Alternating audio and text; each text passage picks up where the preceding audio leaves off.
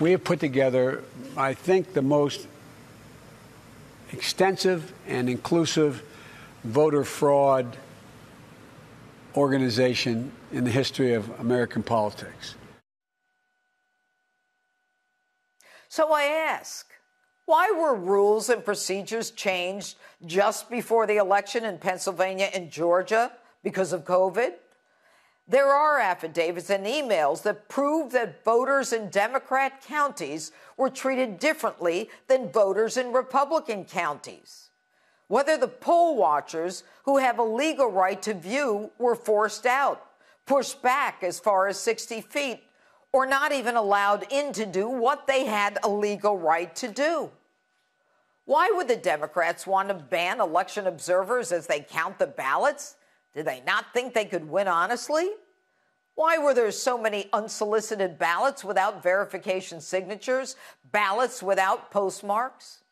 Why did a judge in Pennsylvania go outside his power to extend the deadline to receive mail in ballots after the legislature, the only constitutional body permitted to do so, refused to do so? And why did a Trump hating Secretary of State in Georgia agree with Stacey Abrams? And there is a lawsuit by Lin Wood in the United States District Court in Georgia contesting those decisions. Why were signature requirements loosened and mail in ballot signatures not required to match voter registration rolls? Pray tell. Now, I believe in the resurrection, but dead people voting? I don't think so. Like the mother who swore that her dead son was indeed dead, but that he voted twice. I don't think so, and neither did she. And those voting machines created by Dominion, stay tuned. The best is yet to come.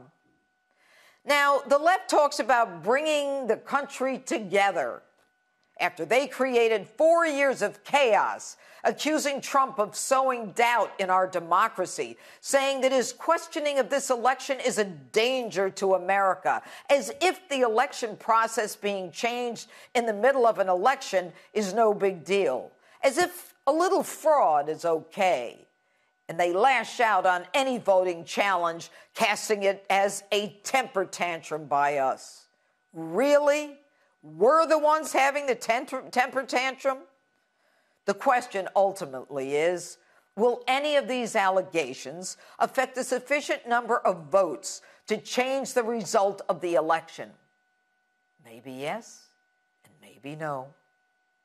If the answer is President Trump did not win, then on January 20th, Joe Biden will be my president. But until then, President Trump is my president because America has only one president at a time.